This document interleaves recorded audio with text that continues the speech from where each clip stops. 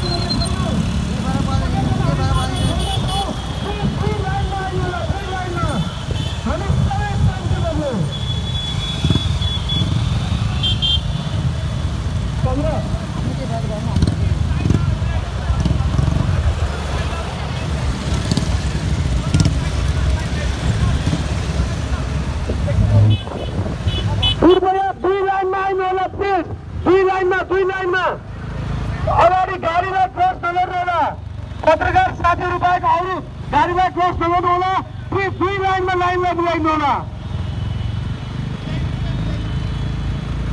दुई लाइनमा आइनु होला पछाडिबाट दुई लाइनमा हामी अगाडि बिस्तारै बिस्तारै मिलाउँदैछौँ हामी सबै स्वयंसेवक हौ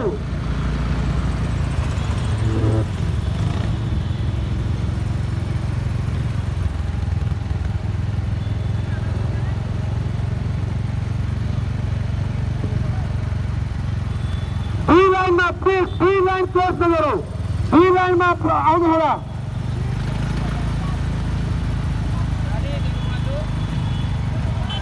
ඒක